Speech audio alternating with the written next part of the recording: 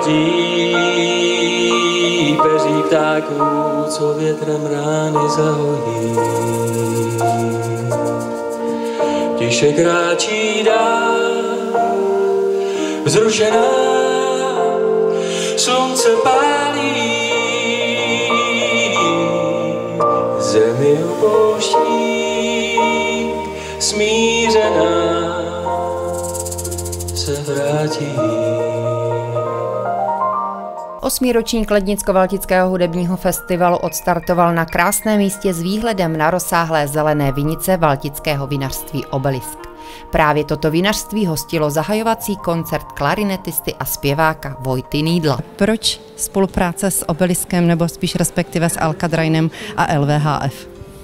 No, já si myslím, že ty prostory, tak jak jsme to koncipovali vůbec, eh, když jsme to stavěli, že měly eh, být právě pro takové ty akce, jak koncerty, vernisáže a mm, Alcadrain je součást, nebo Obelisk je součást Alcadrainu, jak se to vezme, takže proto rádi tady pořádáme tyhle akce, nejenom tady ten Eh, Valtický hudební festival nebo Lednicko-Valtický hudební festival. S tím vlastně jsme spojení de facto od začátku, od vzniku a jsme rádi, že ten koncert, třeba ten první, byl zrovna tady dneska. Si toho moc vážíme a ty prostory opravdu, když se tady člověk rozhlédne, tak, tak i teďka, když jsem tady s pár lidma mluvil, tak jsou nadšení, že opravdu to odpoledne nebo podvečer se vydařil, je tady krásné počasí a ty prostory taky si myslím, že jsou právě pro to určené.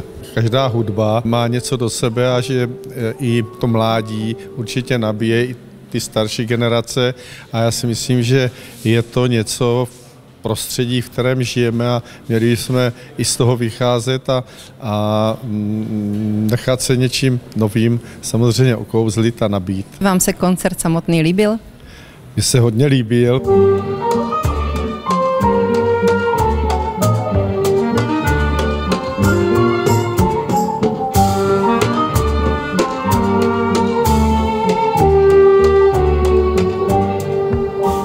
Vojta Needl nevystoupil na obelisku sám.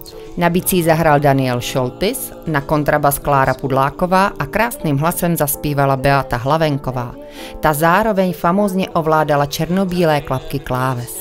Celý koncert s názvem Dítě z větru se nesl v duchu křehkosti a jemnosti. Needle se inspiroval svým osobním příběhem. Už dlouhodobě pod, se snažím podporovat uh, nadaci Nedoklubko, která uh, se stará a pomáhá předčasně narozeným dětem a jejím rodinám, ale nejenom jim, ale i Eh, lékařům, organizuje různá sympozia, edukativní věci a tak dále, jsou úplně skvělí. Takže jsem strašně rád, že se to povedlo, že eh, festival věnoval vstupné na podporu téhleté nadace. Znáte Lednicko-Valtický festival? Znám, protože Jirka Partika, eh, ředitel je vlastně můj kolega dlouholetý, hráli jsme spolu v Symfonickém orchestru Českého rozhlasu a taky jsem tady vystupoval se symfonickým orchestrem, takže já ten festival znám a moc, moc ho mám rád, moc ho eh, podporuju eh, a myslím na to, aby se mu dařilo. Celý výtěžek z tohoto koncertu byl věnován na nadaci Nedoklubko.